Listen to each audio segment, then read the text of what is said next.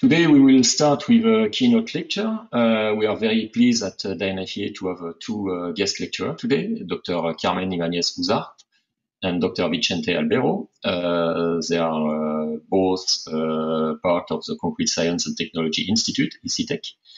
And today they will give a lecture on modeling structures in fires and give a general overview based on Eurocode. So we are very pleased to, to welcome them today. And uh, Carmen will be the first uh, to start, followed by uh, Vicente. So I'm going to make Carmen present. Uh, so the, the floor is yours, uh, Carmen. Okay, so good afternoon to everyone. Um, as I said, my name is Carmen Ibanez, and I am from Universidad Politécnica of Valencia. And me and my colleague Vicente Albero, we are very pleased of having been invited to participate in this session. And we are going to do the next presentation entitled Modeling Structures in Fire, a general overview based on Eurocodes.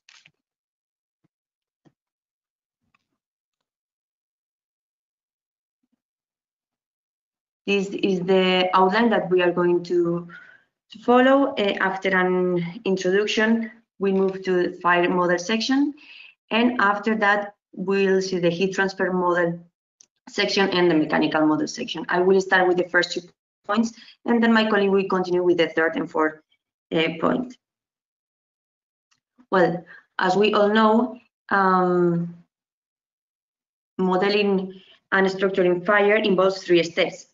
Uh, fire modeling is like uh, the first uh, one, which involves the selection of the fire scenario. I'm going to take a laser of the proper fire scenario and the determination of the reference temperature time curve. In fact, the objective of this step is to obtain this uh, T sub G, uh, which is the temperature of the gas that is going to hit the structure. Once the temperature of the gas is obtained, the next step will be uh, the thermal analysis, which implies the calculation of the temperature evolution within the structural members and finally, the structural analysis with the calculation of the mechanical behavior of the uh, structure that is exposed to fire. Well, um, Eurocode 1, part 1.2, uh, says that a full analytical procedure for structural fire design um, is able to take into account all these uh, points here, the behavior of the structural system, the potential heat exposure, the beneficial effects of the active and passive fire protection systems, and uh, even the consequences of fire. Um, all these are if all these uh, points are considered explicitly, it will be a performance-based design. However, Eurocode 1 um, considers two alternative design approach, uh, procedures or approaches, as we can see here in the figure. The first difference uh, between them lays in the way the thermal action is considered. As we can see here, the prescriptive approach uh, uses nominal fires to generate thermal actions, whereas the performance-based design um, refers to thermal actions based on physical and chemical parameters. It is worth to mention that when uh, the prescriptive approach is used, the classification system, which calls for specific periods of fire resistance, as all we know, 30, 60 minutes, takes into account uh, the features and uncertainties described in the slide before, uh, but not explicitly. Focusing on how to model the thermal action, two main um, groups of temperature time curves can be found. First, we have here the nominal temperature time curves, which will be used when we are um, using a prescriptive approach, and the natural temperature time cure curves, which we'll use when a performance-based design or approach is used. Let's see, therefore, the options that we have to define this thermal action. It says, let's move now to see the fire, how to define the fire models according to the proper fire scenario. Let's start with, um, with an overview reviewing the stages of a fire in a compartment in absence of fire control when we have all the stages that we can find in a fire.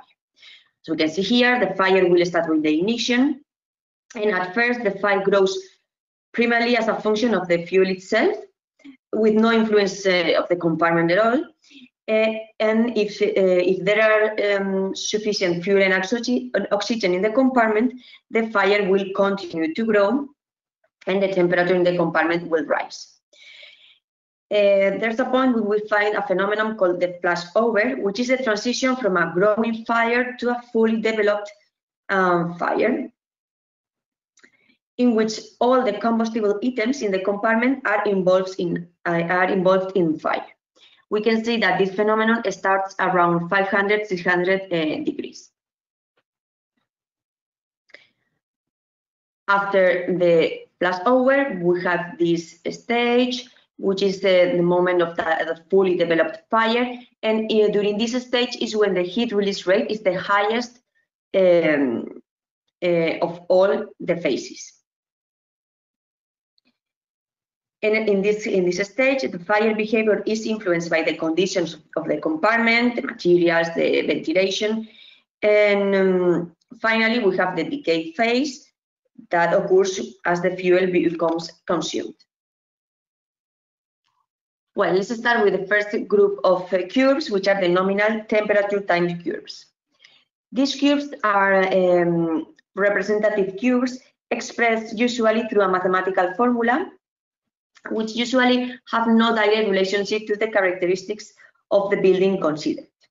In general, these curves are used for testing passive uh, protection materials, for classifying products uh, of construction, etc.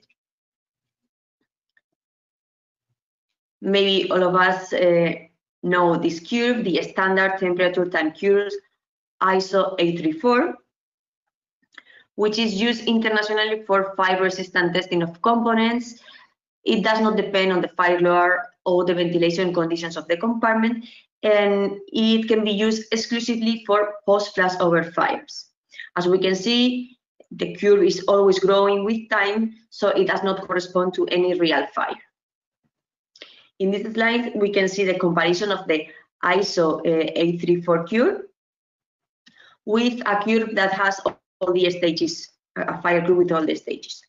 As we can see, the ISO 834 starts in the moment of the flashover. Um, well, as we have said before, this cube is internationally used for furnace tests and because it consists of a single ever-increasing heating phase, um, using it for testing is very practical because it ensures, here we have, it ensures uh, that failure will always occur and that allows the classification of uh, the products, etc. And also given that the, uh, the only parameter to control is the temperature of fire, that makes easy to control the furnace environment. Another curve that we can find is the hydrocarbon fire curve. As uh, we have seen in the ISO here, we have the formula that defines this curve. And um, obviously, this cube represents the effects of a hydrocarbon fire and has uh, its main application on chemical and petrochemical industries. A third group that we can find is uh, for external fire, the external fire cube. Uh, its use is intended for the outside of separating external walls, which can be exposed to fire from different parts of the facade, uh, either directly from the inside of the respective fire compartment or from a compartment situated either below or adjacent to the respective external wall. The last nominal temperature curve that we are presented here is the, the tunnel uh, experimental curve, the RWS, which uh, was developed by the Transport Ministry from um, the Netherlands. Uh, the fact is that the, the, more severe fire scenarios detected in tunnels highlighted the necessity of a new curve uh, for the evaluation of the passive fire protection material in tunnels. So here we have this curve that we can see that reach higher temperatures than the, the previous ones. Well, once we have, we have seen this quick uh, review to the nominal temperature curves, which are the easiest ones, let's move to uh, the section where we are going to see how to obtain natural temperature time curves, um, which are always derived from uh, the development of natural fire scenarios through models, either simplified or advanced models. As we have commented before, these models can be considered explicitly the fire load, the heat release rate, the ventilation, the properties of the compartment, or the thermal properties of the materials. Depending on the particular um, approach, we can even consider the influence of the uh, fire suppression installations, for example, the sprinklers, or the uh, fire team's actions that can act. We'll start reviewing two concepts. Uh, first, we are going to see the concept of fire load, and secondly, we will review the concept of heat release rate. Let's start with the fire load. And first, we, we will see some definitions just to, to shed not the concept. Well, when we're in a compartment fire, we can say that the fire load density is the fire load per unit area related to the floor area. In this case, we will have this QF, or related to the surface area of the total enclosure, including openings. In this case, we'll have this QI. In the same way, the fire load, not density, the fire load, is the sum of the thermal energies which are released by combustion of all the combustible materials in a space. Um, for calculation, a design value should be used. Here we have the expression that Eurocode um, gives for the calculation of the design value of this fire load density. Let's see each of them. Well, first we have here uh, a factor m, which um, well, is a coefficient that depends of the type of fuel. Usually it's taken at 0.8 for uh, cellulosic material. Then we have this delta Q1 and delta Q2, which are um, fire activation risk factors that depends on the compartment area, delta Q1, and on the occupancy of the compartment, delta Q2. Here we have a table E1 from Eurocode that gives us the value of these factors according, as I said, with the floor area of the compartment of the type of uh, occupancy. The next value we need to set is the um, characteristic fire load density, QFK, which is given again by, in this case, table E4 from Eurocode 1, uh, according to the um, type of occupancy that we have in our design. Uh, usually the 80% fractile is, uh, is employed in the calculation. It's important to mention that also the characteristic fire load can also be obtained considering all the uh, combustible items, materials, and their net calorific values uh, in mass that we have in the compartment. And the last factor that we can find is this delta N, which is um, a factor taking into account the different active fighting measures imposed by um, safety reasons. The values again are given in this table, in this case table E2, uh, and we can find different values according to the, the different uh, active fire fighting measures that we can find. Automatic fire suppression, fire detection, manual fire suppression. The final value of delta sub n is obtained by multiplying the different factors. Well, once we have seen this review of uh, how to calculate, how to obtain this fire load according to Eurocode, let's review the concept of heat release rate. The heat release rate that we can find with uh, these capital letters, HRR, also we can find uh, RHR as, uh, as in Eurocode. Um, we can find all these in, in the literature, the, the, three of them, is the energy released by a combustible product as a function of time. The um, heat release rate can be obtained with uh, the cone calorimeters or the hood, as we can see here.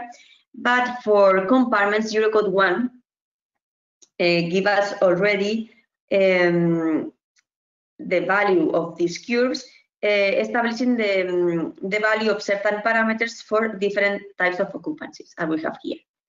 Eurocode can define these um, curves, establishing, as I said, uh, different parameters, the growth rate, the RHR per unit area, and the area of the compartment. Well, here we have the two slides showing how these curves, the HRR curves, can be obtained experimentally. Here on the left, we have a figure um, where we can see a hood um, measuring the concentration of the gases extracted from um, a test.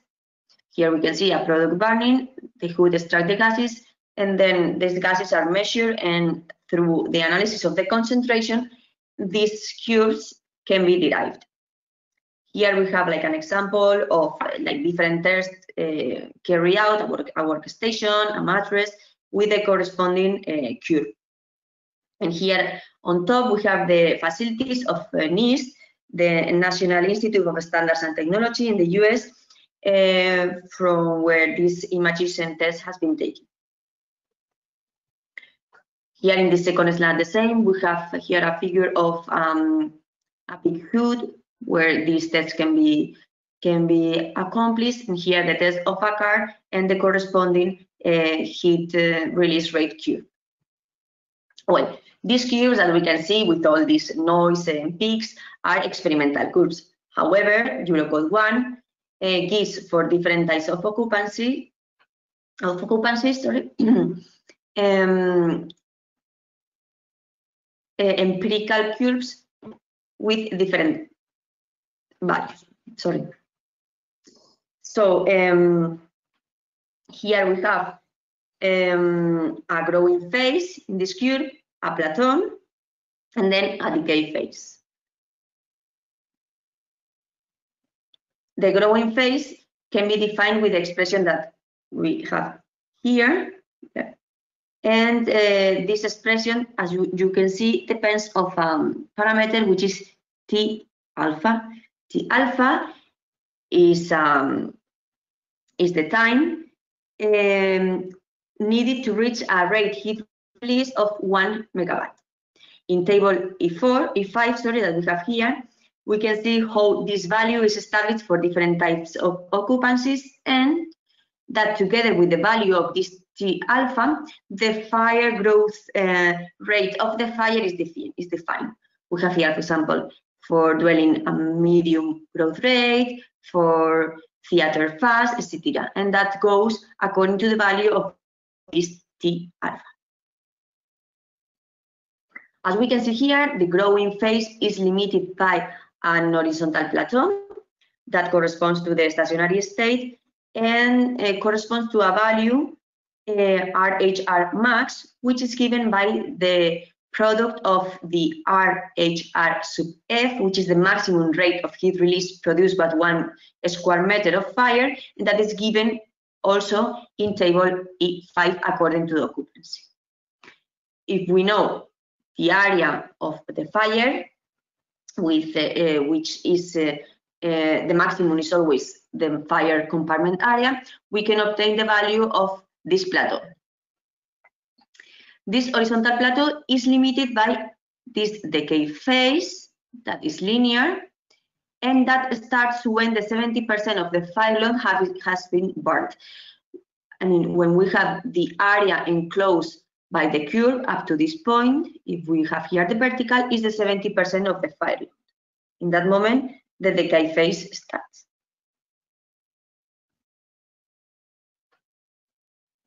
Here in this slide, we can see in pink the RHR curve when the fire is fuel controlled, when we don't have problems with the ventilation. However, if the ventilation is limited, we have a type of curve like the red one, and the fire is called ventilation control. As we can see here, the plateau level has to be reduced from here to here, following the available oxygen, oxygen content.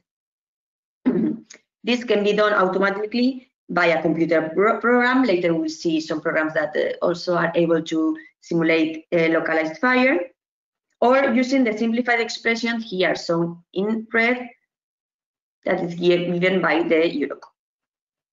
Also, we have to take into account that in the case of a ventilation control fire, the red one, the cure of the rate heat release has to be extended to correspond uh, to the available energy given by the fire load. At the end, the area enclosed by both curves, by the pink one or the red one, has to be the same if they belong to the same compartment with the same fire load. Once we have reviewed these two concepts, the fire load and the uh, rate of um, uh, heat release, we can pass to review the different uh, models, simplified or advanced, that can be used to obtain these natural temperature time curves uh, of a defined scenario for a performance-based design. Let's start with the simplified models. And uh, the first type that we can find or that we are going to explain here are the parametric curves, defined also by Eurocode 1. These curves uh, are um, for engulfed fires in compartments and um, the gas temperature in the environment of the member surface is given as a function of time and on basis of fire models and physical parameters defining the conditions in the fire compartment. As we can see here, the model uh, has limitation It's, is valid only for fire compartments up to 500 square meters, without openings on the roof, and with a maximum height of 4 meters. Since these are natural fire curves, mm, the factors that we can see here are explicitly taken into account in the definition of the curves. The total area of the compartment, the openings that exist, the fire load, the uh, characteristics of the wall materials. Here we can see the letter uh, with uh, which we identify these factors in the expressions of the curve. The parametric curves are defined by two stages, a growing phase up to a time max that we can see here, and a cooling phase that usually is linear. The expression for the growing phase is shown here.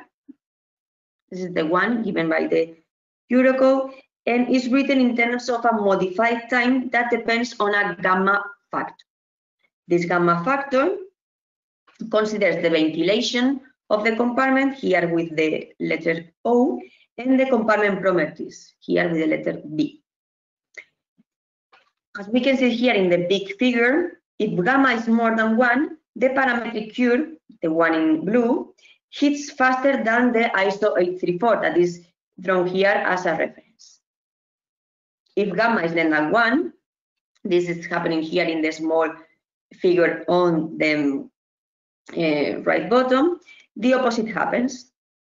The parametric curve hits uh, slower than the ISO 834. In case of gamma equal to 1, the equation of the parametric curve approximates, or is the same, that the standard temperature time curve is the same as the ISO 834. The growing phase, as we have said, finishes when the Tmax is reached.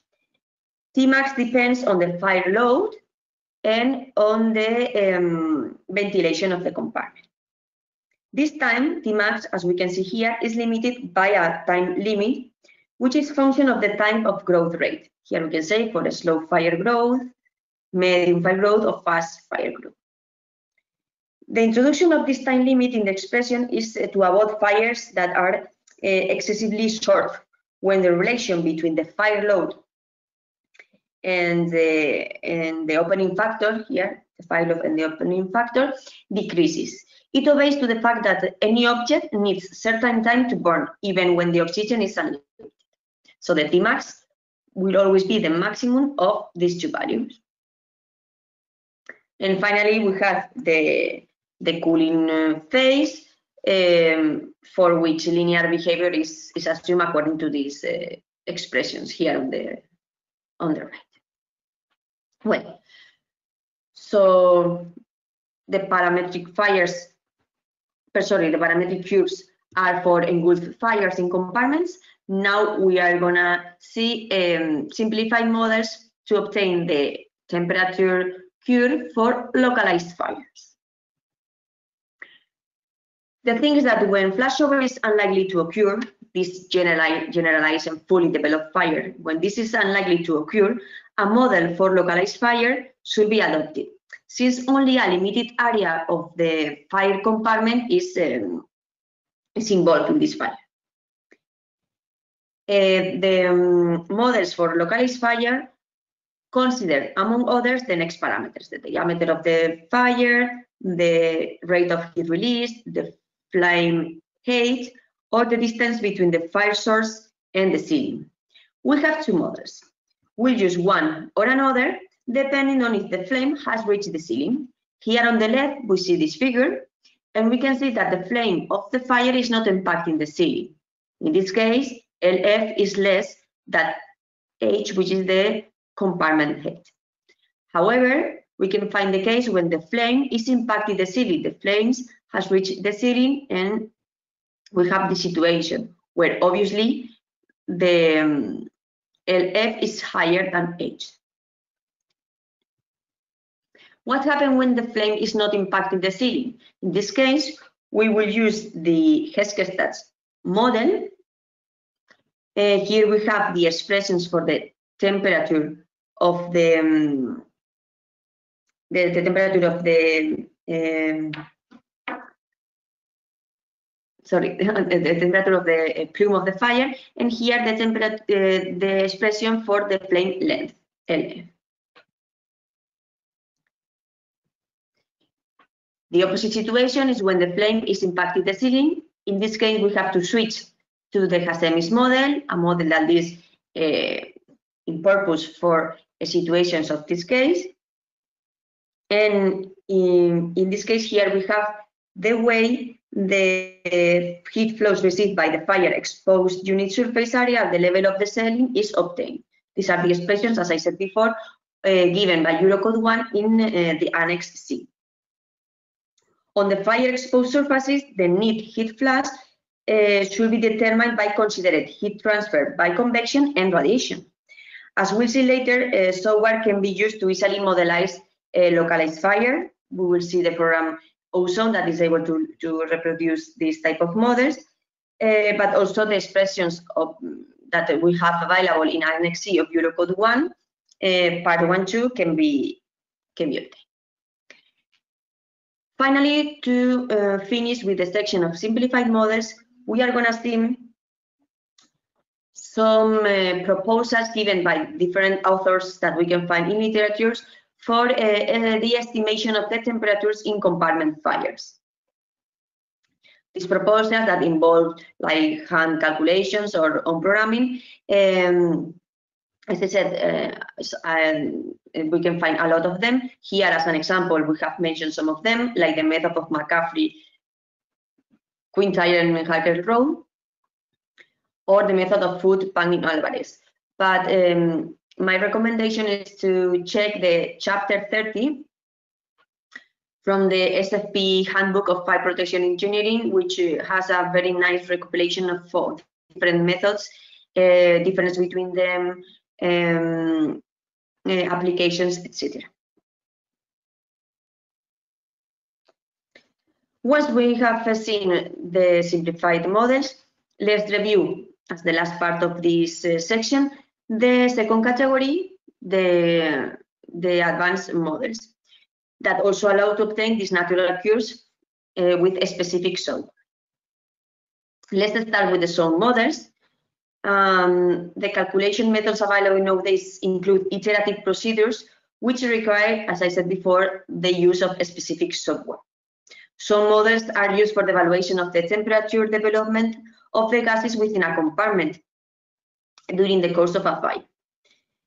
Um, it is necessary to highlight one of the most widely known uh, zone models, as I said before, ozone, developed by the University of Liège. Um, it's a code that includes a two-zone model and one zone model. Here we can see the figures, a two-zone model. We can see clearly these two zones in which the compartment is divided. Later we will go more into it or one zone model.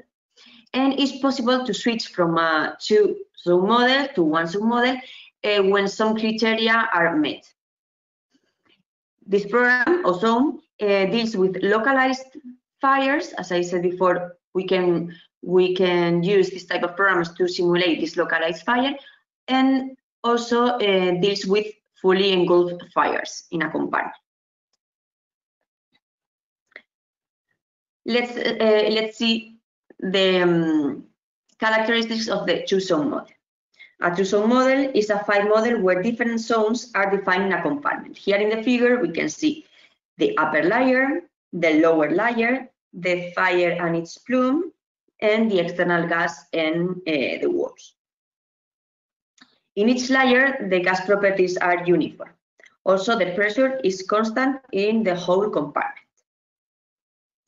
The layers are separated by an adiabatic horizontal plane. Here we can see at height ZS, and is uh, only connected by an air entrain model, the two, the two layers. As we can see in the figure, the upper layer is opaque, and the upper layer partitions, which are the wall and the ceiling, are connected to, uh, to the layer by radiation in convection. On the other hand, the lower layer is clear and its partitioned. again, the wall and the floor, are connected to the layer only in this case by convection. On the other hand, we have the one zone model. We can imagine that when we are modeling a real fire and we are we are um, modeling the transition for the growing fire to the fully developed fire, we are going through this flashover that makes that the, the fire is generalized in the whole compartment. In this case, uh, the model to be adopted is a one-zone model where homogeneous temperatures of the gas are assumed in the compartment. In this case, in the model that Ozone pro, uh, proposes. The compartment is represented by a single zone where temperature and density are uniform and again the pressure is constant in the whole compartment volume. The zone is supposed to be opaque. We can see here with gray all the, the single zone of all the compartment. And the partitions, walls, ceiling, floor, are connected to it by radiation and convection, because here we have all these hot gases that also uh, allow for the radiation uh, phenomenon. Well, the fire here on the floor is um, defined by its rate mass loss, the rate of heat release, and the area. And all the mass and energy coming from the fire are added to this single zone. As commented before, in the program ozone, uh, some requirements need to be met in order to switch from one, sorry, from two zone model to a one zone model here. Let's see. We can switch from the situation where we have two layers to the situation where we have one single zone. Um, in order to accomplish this, we can model this transition, uh, and we have four criteria to be able to switch from, as I said, the two-zone model to one zone. Let's review these criteria. The first one, criterion one, here we have this figure, is achieved with the high temperature of the upper layer gases, here T sub U, um, leads to a flashover. Usually in the model, this is set to a temperature of 500 um, degrees. As we have commented before in the stages of the of a fire, that was more or less the moment 500, 600 degrees when a flashover is modeled to, to occur. The second criterion, criterion C2, here we have. Well, what, uh, what this criterion says is, uh, is that if the gas is in contact sorry, if the gases in contact with the fuel have higher temperature than the emission temperature of the fuel, here T in, the propagation of fire will occur in this case by convective uh, ignition. So here we have several parameters. The, the um, upper layer is touching some of the combustible and also the temperature of this layer is higher than the uh, convective ignition temperature. The value usually taken for this is 300 uh, degrees. Criterion C3, here on this figure, uh, this criterion is achieved when the interface height goes down and leads to a very, very, very small lower layer thickness, which is not representative anymore of a two-zone phenomenon because it's uh, really thin. Usually in the models it's assumed that the height of um, the height of this upper layer, this ZS, um, is less than the 20% of the height. When that happens, this criterion activates. And the fourth criterion, criterion C4, that allows to pass from a two-zone model to one-zone model is related to the area that the fire is, um, is taken. In this case, criterion C4 is met when the fire area is too high compared to the floor surface of the compartment. So this fire cannot be considered a localized fire anymore. Usually the limit is set, the limit is set in the 25% of the floor. So when one of these criteria um, is met, we pass from a two-zone model, from a one-zone model, we have we have gone through this flashover and we have a generalized uh, fire in the compartment. These are the basics of the zone models.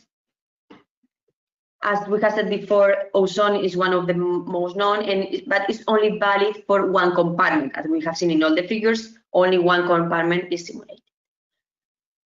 To model several compartments or to model a multi-room uh, um, uh, model of a fire, we can use, for example, CFAST, which is also a two-zone fire model, but that can be used for several compartments. CFAST uh, is, um, is developed also by Venice. Here we can see uh, some uh, like images of some um, simulations and other programs that we can find, for example, is the BRIS from New Zealand that also is a multi-room zone model that includes flame spread, multiple fires, and the possibility of, um, model, of modeling mechanical ventilation. And to end with this section of advanced model, uh, we just need to review the CFD models. The computational fluid dynamics models, known as CFD, are able to give, uh, to calculate the variables, for example, the temperature of the gas, that is our objective in this section, to obtain this temperature of the gas at any time and at any point in the compartment. Uh, well, in this case, the compartment is divided into uh, a grid of small volume elements.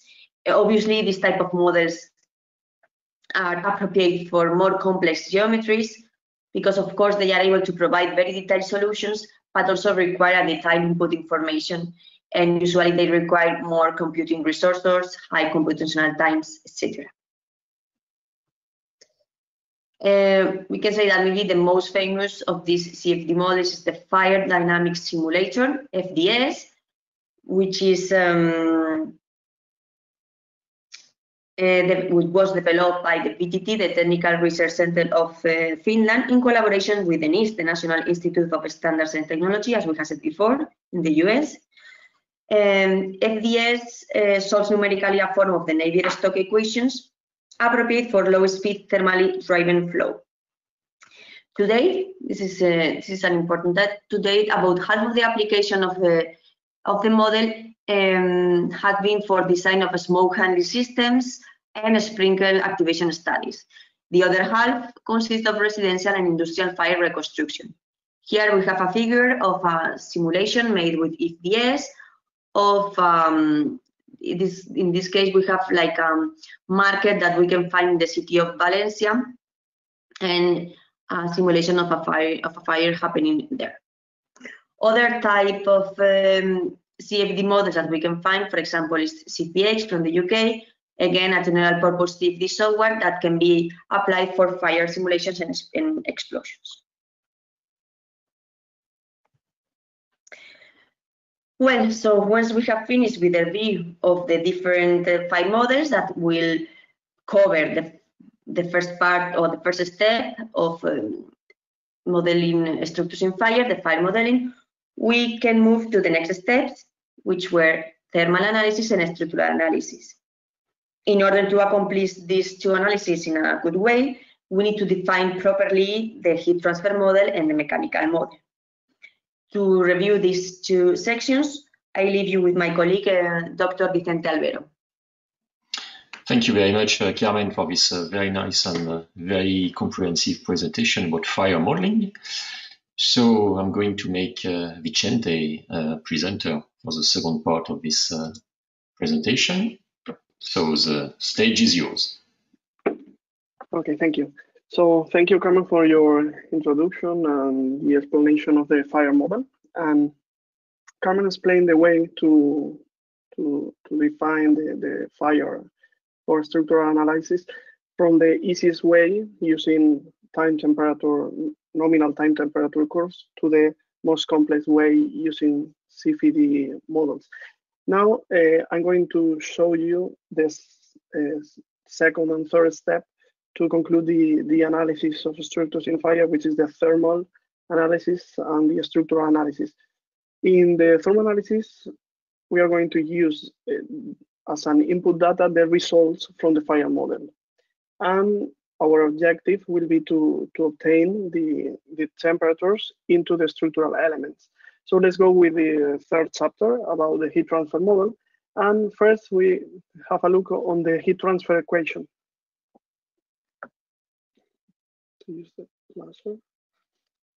Yes.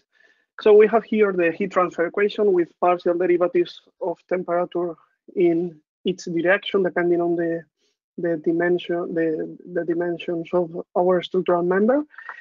And we have also three parameters from material, three thermal properties of the material, the conductivity, the specific heat, and uh, I'm sorry, the density and the specific heat. Also, we have the heat source that usually will be equals zero, and the deri derivative of temperature in time. So uh, when we work with this equation, we have two different problems. The steady state problem, uh, when the derivative of temperature on time equals zero, this is the problem for long-term heat transfer uh, analysis, and the transient state problem, when uh, the derivative of temperature in time is not equal zero. In fire, we always uh, have in this second uh, equation, in this second problem, because the increase on the temperature from fire is very fast and we cannot assume that derivative of temperature in time equals zero. In order to, to solve the equation, we need also the definition of some boundaries. Uh, the, these boundaries are referred here as the input heat flux equals the conductivity of the, the material on the exposed surface and derivative of temperature in its direction.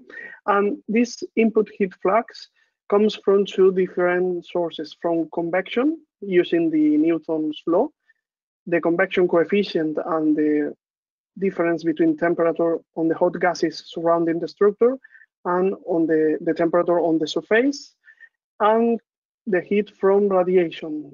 Uh, using this Stefan Boltzmann equation with form factor, the emissivity of fire, the emissivity of the of the material on the surface, Stefan Boltzmann constant, and the difference of temperature at the fourth power between the radiation source and the temperature on the surface. Here, on the temperature on the hot gases and on the radiation source, this is the input of our heat transfer model that comes from the fire modeling that explained uh, Carmen. And an important uh, number uh, to analyze heat transfer problems is the Biot number. The Biot number relates the convection coefficient with the conductivity of the material and the effective length that for bidimensional elements, this effective length equals the area, the cross-section area of the element over the exposed perimeter. Problems with Biot number lower than 0.1 means that the conductivity of the material is, is much more higher than the convection, and we can assume constant temperature on the structural element. On the other hand, problems with Biot number higher than 0.1, we have not done this assumption.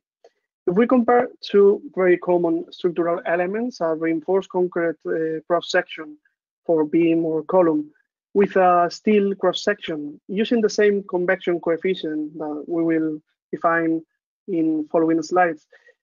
Using very different conductivity because we'll explain the, the difference on the thermal properties of the elements, but conductivity in steel is much is higher than in concrete, and also with a very different effective length because steel beams has a high exposed perimeter for the same cross-section area, and reinforced concrete elements are massive with lower exposed perimeter. We obtain uh, very, very different values of the Biot number. In this case, in, in, for steel structures, we have a value much more lower than 0.1. And we can conclude that for steel structures, uh, the temperature into the structural element is constant. We call this problem the zero dimensional problem because we are assuming only one point for the, the whole cross section with only one temperature. But for concrete, reinforced concrete cross sections, the Biot number uh, uh, is higher than 0.1 and we cannot assume this constant temperature. Yeah. So let's move to the steel, the analysis of heat transfer on steel structures and using the, the assumption uh, detailed before, using the, the constant temperature on the steel cross section, we can use just the energy balance equation to obtain the evolution of the temperature into the, the structural element. This is the energy balance equation. On the left part of the equation, we have the input heat flux and the lateral uh, surface. This is the input energy. And on the right side, we have the energy stored by the material, the volume, density, specific heat, and variation of temperature on time. Usually, steel structural elements are prismatic uh, with same cross section along the length. So we can divide this equation by the length and this parameter, instead of being the lateral area, is just the perimeter, the exposed perimeter, and the volume is just the cross-section area, dividing the whole equation by the length. So using this energy balance equation, we have uh, an equation to obtain the, the variation on, of the steel temperature. Depending on properties of the material, density and specific heat, the input heat flux, of course, the step time, and this is a key factor for the evolution of the temperature into steel structures, which is the section factor, uh, defined as the exposed perimeter over the cross-section area. If, uh, indeed, Eurocode 3 in part, part 1, 2, this is the Eurocode for steel structures, and part 1, 2 is for the fire design. Eurocode 3 provides an equation based on the previous energy balance equation to obtain the temperature on the steel elements. Here in the input heat flux, heat flux, we have the convection and the radiation. Uh, when we are using the standard fire curve, the simplest way to, to define the fire, the convection coefficient is defined by Eurocode 1 part 1 2 as 25 watts over square meter Kelvin uh, the emissivity of fire equals one, the emissivity of carbon steel equals 0.7. And here we have the, the difference between the temperature on the gas, on the radiation source, and on the steel. We can observe here that this equation is an implicit equation because its temperature depends on the previous temperature of the steel. So Eurocode 3 suggests to, to obtain accurate results a step time lower than 5 seconds.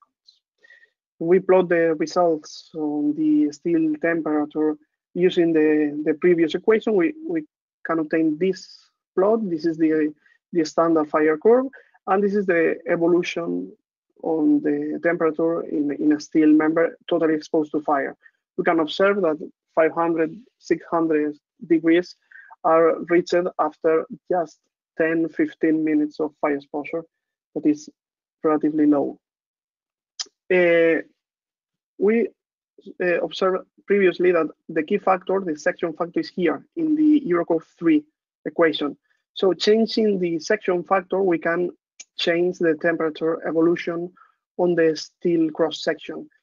Common values for totally exposed steel elements are from 100 to 400.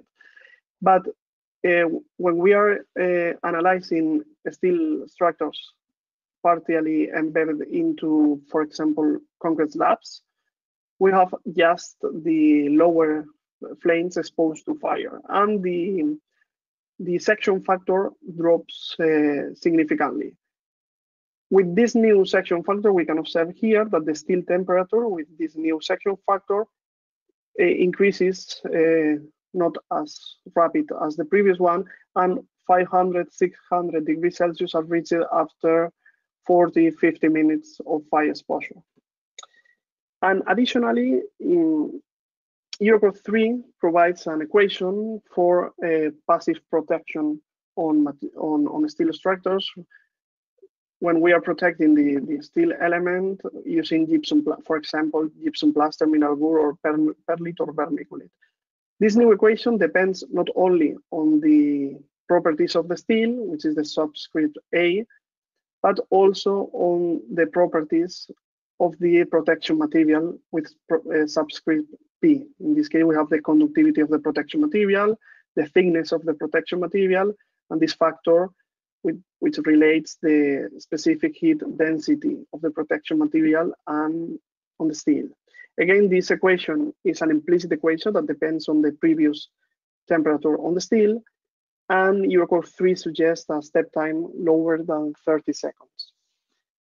Here we have the comparison of the steel temperature evolution of an unprotected steel element and a protected one. We can observe that 500, 600 degrees are reached after more than 60 minutes of fire exposure. So these are very common way to protect the, the steel structures because the delay on the steel rise is very, very high from 10, 15 minutes to more than 60 minutes using this passive protection. So this is the common common way to, to protect steel structures and affects main, mainly on the heat transfer model because the, the increase on the temperatures are not as fast as with uh, un, unprotected steel cross sections. And if we talk about concrete structures, uh, we analyze using the Biot numbers that in this case, we cannot assume constant temperature. And usually we need to solve the, the heat transfer equation for unidimension, the unidimensional problem for walls or slab, or, or the bidimensional problem in case of beams or columns. Although Eurocode 2 in part 1, 2 on the Annex A, Eurocode 2 for concrete structures, part 1, 2 for the analysis in fire, provides the solution of the previous heat transfer equations uh, for uh, certain uh, cross-section dimension. For example, this is the graph provided by Eurocode 2 part 1, 2 on the Annex A for slabs. In this case, we have, depending on the slab, uh, on, the, on the depth on the slab, we have the, the temperature under different uh, times of standard fire exposure. For example, at 20 millimeters depth, we have 350 approximately degrees Celsius after 30 minutes of fire exposure and uh, 500 uh, Celsius after 60, min 60 minutes of fire exposure. And these other graphs are for bidimensional cross section. In this case, we have graphs for reinforced con concrete cross section with 300 millimeters height and 160 millimeters width. Here we have only one corner. We can observe from zero to the half width, uh, half uh, height, 150, and the half width from zero to 80 millimeters. And the location of each isotherm after 60 minutes of exposure from the from four, the four sides to the standard fire curve. And same graph with the isotherms, but after 90 minutes of fire exposure. In any case, the, the graphs provided by Eurocode 2 are limited. Only some dimensions and under specific um, uh, parameters are available. And sometimes we will need a, a finite element model using like software like Diana to obtain the temperatures into the concrete element. It's important to notice that Wickström in 80s developed uh, developed some equations to obtain the temperatures into concrete structures. And these equations are an analytical equations to obtain the, the previous graphs from Eurocodes. We can use to, to obtain automatically the, the previous graphs because sometimes graphs are not very useful to, to use in automatic calculations. This is the equation provided by Wickström for, for unidimensional problem. Here we have the temperature from fire, the, the, the coefficient for the depth, the x depth, uh, depending on the, the time exposure in hours and the depth on the x direction. And this is the equation for bidimensional problems that includes also the, the coefficient on the y direction. Again, this equation has limitations, are only available for standard fire and in certain, under certain dimensions. So uh, sometimes we will need the, the development of an advanced finite element model to analyze uh, concrete cross sections. And in order to define this advanced model, we need to define the thermal properties of each material. First, about steel, Eurocode 3, part 1, 2 provides the, the, the steel properties, the steel thermal properties. We can define a constant value of density, uh, a non-constant value of conductivity, variable at elevated temperatures with a value at room, at room temperature uh, approximately 55 watts over meter Kelvin, uh, decay on this conductivity up to 800 degrees Celsius, and a constant value over this, this temperature. And, and a specific heat for steel, approximately um, of 600 joules over kilo Kelvin, but with a heavy peak at 635 degrees Celsius due to the change on the crystal structure of the steel, because this, this peak means the energy consumption on the change on this on the strict, uh, crystal structure of the steel. And about concrete, uh, Eurocode 2 part 1.2 provides values for conductivity. Here we have uh, the definition of the conductivity through an upper and lower limit. Uh, we know that the next version of Eurocode 2 part 1.2 will provide a more specific definition only with one curve but now we have this, this definition and we can define the conductivity between these two limits. Uh, these limits are usually related with the type of aggregate because it's not the same conductivity for different aggregate type. Constant value of density, 2,300 kilos over cubic meter, and the definition of the specific heat. This is a very interesting parameter for concrete because this specific heat at 100 degrees Celsius shows a peak depending on the moisture content. This peak uh, means the, the energy uh, consumed on the water vaporization of concrete. Yeah? So no peak for 0% of moisture content and 2000 joules over kilo Kelvin for 3% of moisture content. Uh, Eurocode 4 for for concrete steel structures defines uh, a, a is the same definition of the specific heat for concrete, but with available values higher than 3%, I think up to 10% in Eurocode 4. In any case, uh, this definition of the spe specific heat means uh, an implicit uh, model of concrete that takes into account the concrete and water. It's like a wet concrete. This is different. This definition on Eurocodes is different uh, from US because on the US standards, the definition of concrete is is done by a multiphysics uh, model with concrete and uh, water separately. Yeah.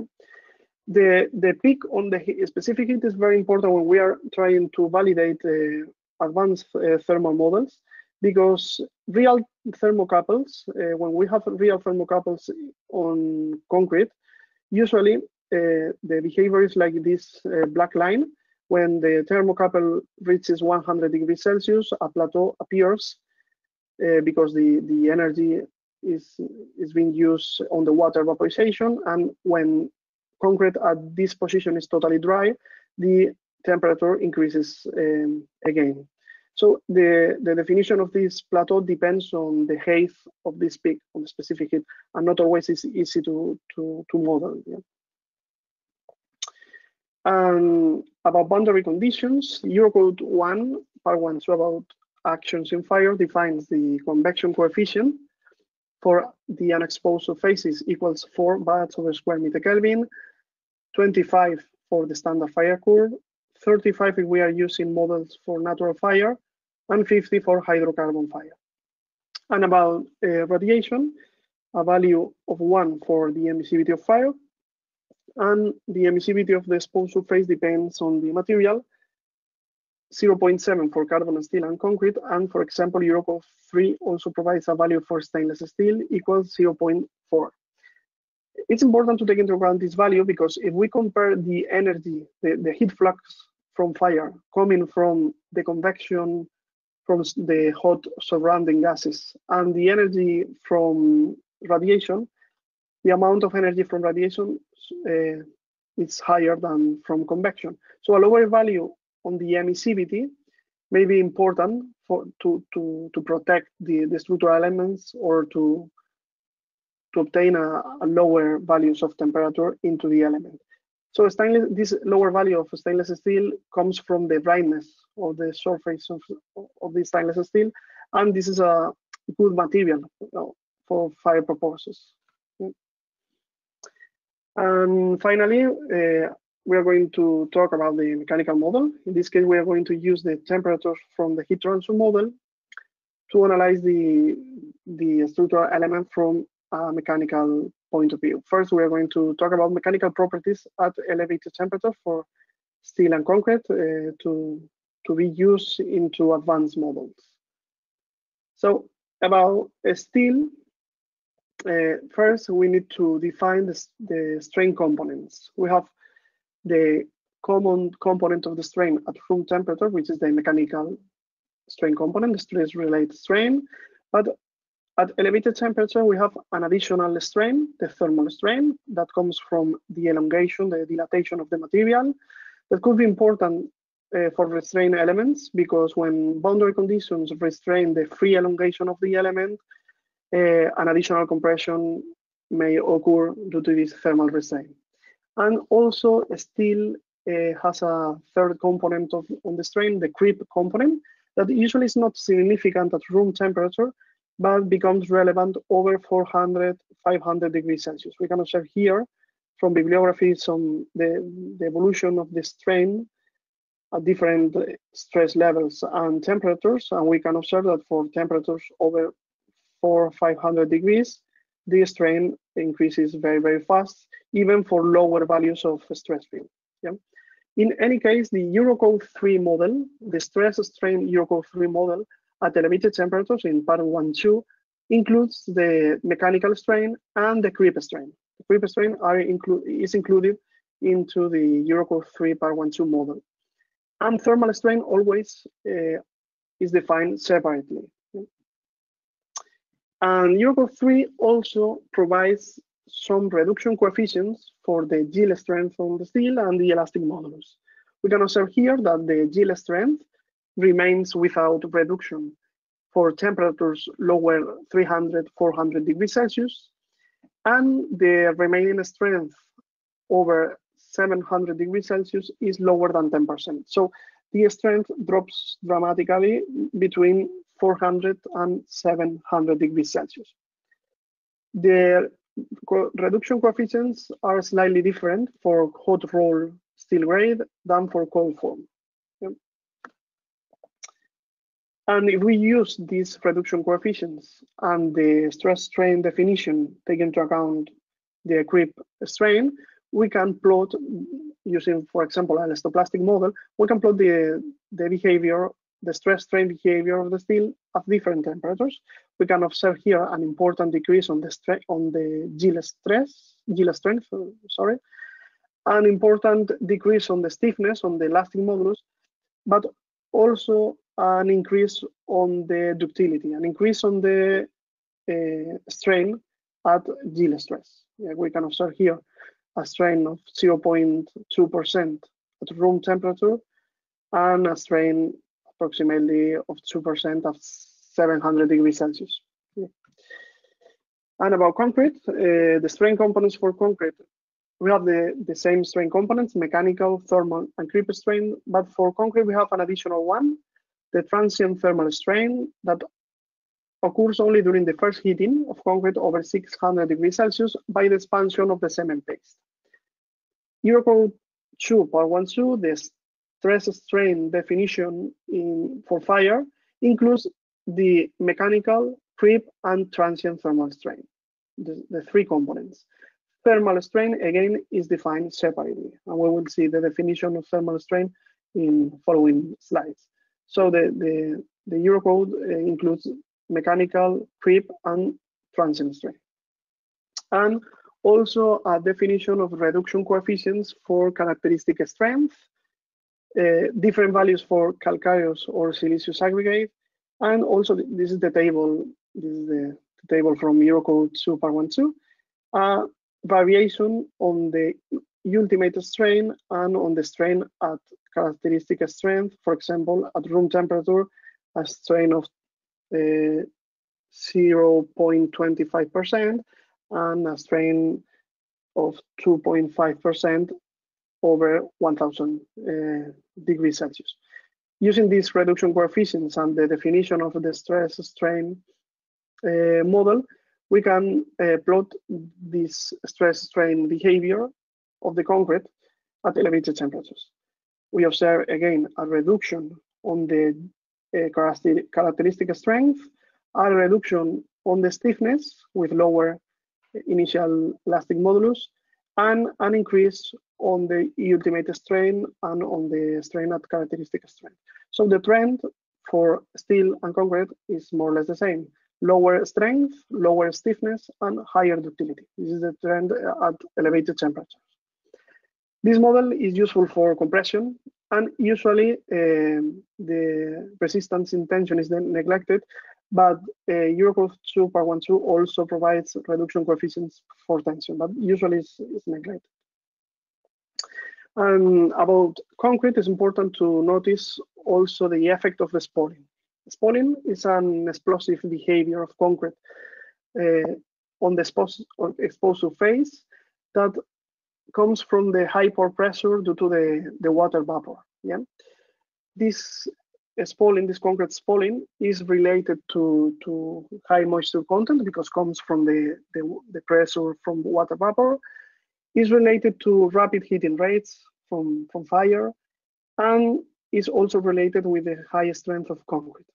And uh, include this effect, the spalling effect, into advanced finite element models is very, very difficult because we require a model with uh, removing some elements or some strange strategies. So how to manage with this, this spalling? Eurocode 2 suggests to avoid spalling uh, this, this way, just avoiding the, the spalling. And uh, for normal concrete, limiting the moisture content for values lower than 3%, because with this moisture content, the, the spalling unlikely occurs. And for when we are uh, analyzing high elements with high strength concrete, Eurocode 2 assumes that uh, spalling may occur and uh, provides uh, some strategies to prevent the effect of the spalling, using, for example, reinforcement mesh near the surface with 15 millimeters cover, or the usage of polypropylene fibers. Uh, because polypropylene fibers melt at elevated temperature and creates a, a net to to to yeah to to allow the water vapor to escape from from concrete element and obtain lower pore pressure. Yeah. About thermal expansion, as we explained before, the the thermal expansion is defined separately from the and mechanical or creep strain, but Eurocode 2 and Eurocode 3 define the the thermal elongation, not the thermal expansion, the thermal elongation. And usually the finite element models require the thermal expansion, which is only the, the thermal elongation over the difference in temperature. We have here the, the values for, for thermal expansion for concrete and steel. different values again for siliceous and calcareous aggregate.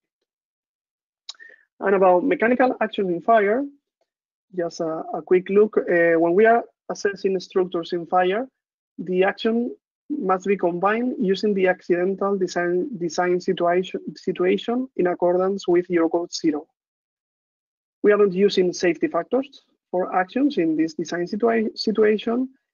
Dead loads, all dead loads, and the main live load with the frequent value of the quasi-permanent value depending on its national annex. For example, in, in Spain, we use the frequent value, and the rest of the live loads using the quasi-permanent uh, combination factor. Okay? Is a way to combine the actions to analyze structures in fire. And an important thing to, to take into account is the different assessment strategies when we are analyzing structures, uh, mechanical structures in fire. Yeah, usually uh, we use this the, the, the member analysis. Yeah, it's just obtaining the fire resistance of each member of the structure, its its beam, its column, its floor separately, obtaining the fire resistance in terms of fire resistant time or in terms of strength in fire, and comparing this resistance of each member with the requirement done by its national standard. For example, in case of Spain, we have a requirement for um, residential buildings with uh, evacuation height lower than 15 meters, a requirement of 60 minutes of fire exposure. And for commercial or industrial uh, buildings, the requirement uh, may come from no requirements, zero minutes to 120 minutes, depending on the fire risk and the availability of fire fighting facilities, for example. So this is the most common way to analyze structures, to analyze, to mechanically analyze structures in fire. And Eurocode uh, provides many prescriptions to use this, this approach, yeah, like tabulated data for concrete structures, and other simplified models like the isotherm 500 degrees or the critical temperature. But even using this simple approach, yeah, sometimes we need the usage of uh, finite element advanced models like Diana because uh, some cross sections, some innovative materials, innovative cross sections are out of the, the scope of the simplified models provided by Eurocodes. And we have we, we need finite element models to analyze the, the behavior of these elements in fire. And if we use the performance-based design that explained Carmen uh, on the beginning of the presentation using localized fire, natural fires, uh, we need also advanced models to, to assess the structure because maybe the, the fire only affects some elements of the structure, just one beam or one column, and the local collapse of, of these elements uh, maybe is not the, the whole collapse of the of the building.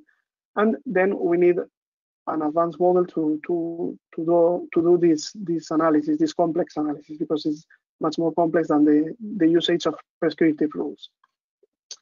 Now uh, we want to show you uh, some simplified models, the, the the most important from our point of view uh, to be used on steel and concrete structures, using this this first approach of the member analysis. And for concrete structures, uh, the most common simplified model is the tabulated data model uh, provided by Eurocode 2.12. Just uh, is is just an analysis of the dimensions of columns or walls uh, and the axis distance from the exposed surface to the uh, reinforcing bar, depending on different parameters, the slenderness, the, the degree of utilization, and the, the, the face is exposed to, to, to, to fire. But it's quite easy to obtain the, the standard fire resistance using this simplified model, tabulated data. Another simplified model for concrete structures is the 500 degree Celsius isotherm, uh, useful for walls, uh, for slabs, I'm sorry, and for um, beams. And this mm, method uh, are based on the analysis, on the plastic analysis of, of the concrete cross section, uh, using the common compression block and the reinforcing bars in tension, but take into account some assumptions that uh, concrete over 500 uh, degrees is removed. So we need to to locate the 500 degrees Celsius isotherm. So we will need the, the usage of, for example, the, the graphs from Eurocode Super 121XA or the usage of Wickström equations or even our own finite element model uh, developed in Diana.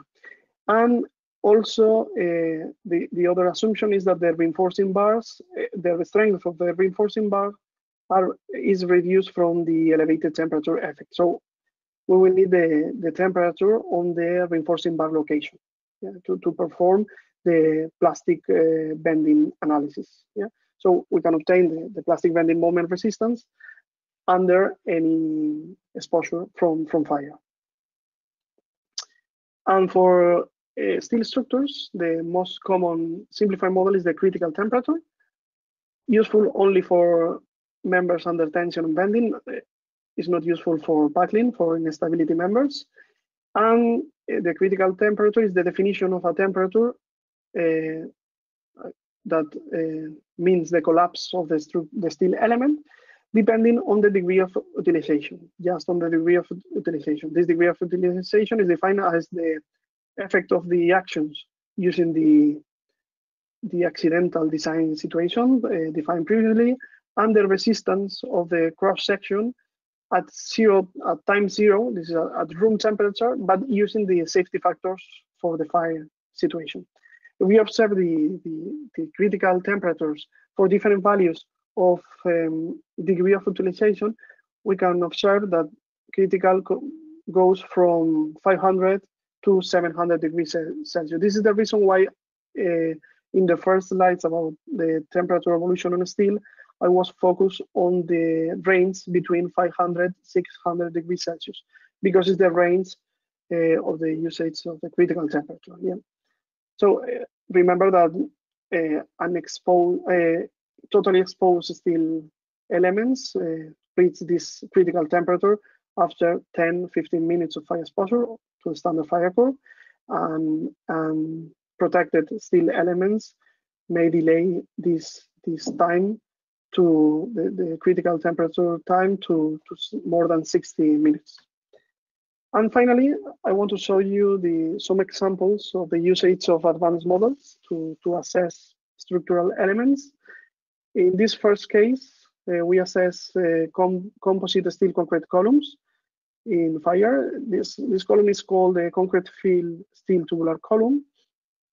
And we assess also the usage of innovative cross section and uh, with a steel column or another tube embedded into the concreting fill. So um, no available simplified models uh, in Eurocode 4, in this case for composite steel concrete columns, for this innovative cross-section. So we needed the, the, the, assessment of the elements through a finite element model. So we can observe here that the, the, the, the behavior of the simple uh, column is the uh, first elongation of the steel tube up to some temperature is reached on the outer tube and the general buckling of the column occurs. But when we are mm, placing uh, an, an, additional steel element uh, in fill on the concrete in fill, this buckling uh, is not the end of the of the behavior because the, the the steel column maintains the the load up to higher time of fire exposure, yeah, up to 60 or 70 minutes of fire exposure, depending on the design of the column. And also, uh, we done an analysis of slim floor uh, beams from Arcelor uh, using a finite element advanced model. And we compare the, the evolution and the bending resistance of this composite cross section but using stainless steel on the lower steel plate. In this case, the usage of this advanced material or this uh, innovative material is not uh, is out of the scope of the simplified models available in Eurocodes, and we use a, an advanced finite element model, obtaining a higher value of plastic bending resistance at any fire exposure time after 60, 90, 120 time uh, exposure time. And uh, you have here some references that we use to, to design these slides, uh, could be useful. And this is the end of the presentation. Thank you very much for your attention. Thank you very much, Jean-Claude, for your invitation. And we are free for to answer questions. Well, thank you very much, uh, Vicente, and thanks also to Carmen for this very uh, nice uh, presentation, very comprehensive uh, presentation. You you covered quite uh, quite a lot, so uh, a lot of information for us to to process.